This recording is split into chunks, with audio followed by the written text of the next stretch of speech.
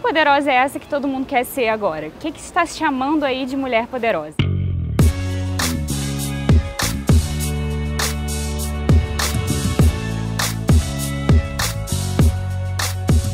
Pelo que eu observei, analisando diversas reportagens, o que tinha em comum entre elas é que para realmente ganhar esse status de poderosa, ela tem que ter conquistado tudo. Seria uma mulher que ela estaria vencendo a suposta guerra dos sexos.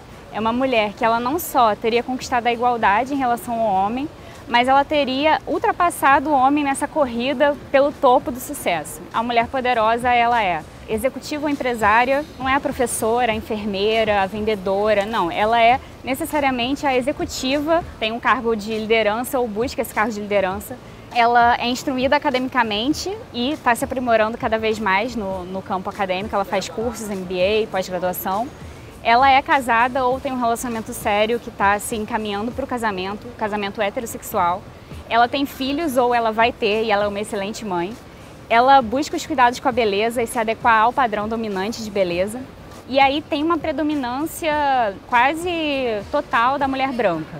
Essas mulheres que aparecem nas capas, nas reportagens, as personagens entrevistadas, rarissimamente aparece uma mulher negra para dar esse testemunho de, de sucesso, de que chegou lá e ocupou essas posições.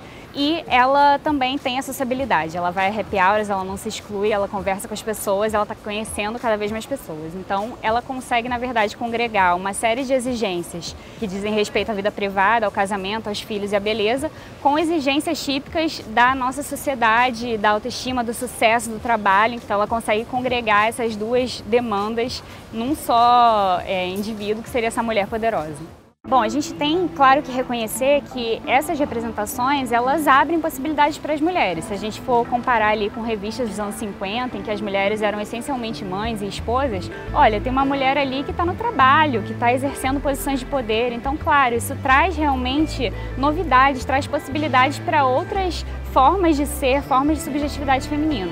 Mas, ao mesmo tempo, quando se coloca isso na ordem do desejável, de que todas essas esferas sejam bem atendidas, não se dá oportunidade para as mulheres de, olha, simplesmente eu não quero, eu não quero. De repente eu quero ser chefe no meu trabalho, mas eu não quero ser mãe.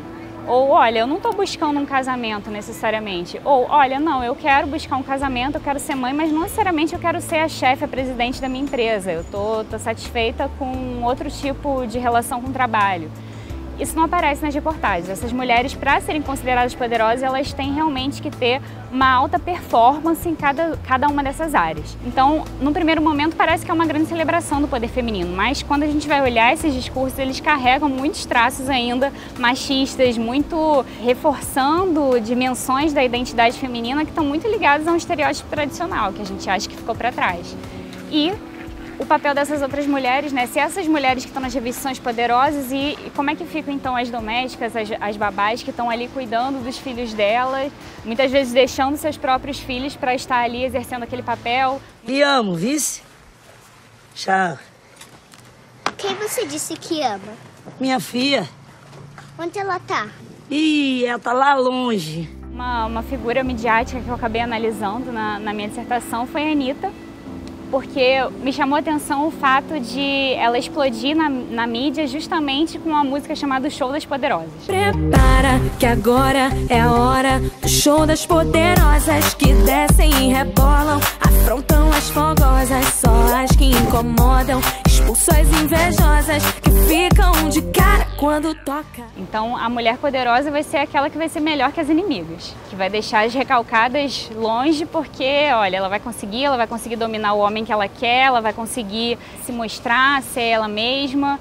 Então, perde um pouco essa dimensão de luta social, quando uma mulher, na verdade, ela tem que lutar até mesmo contra as outras mulheres para conseguir chegar lá, nesse topo, nesse caminho do sucesso que é colocado como desejável.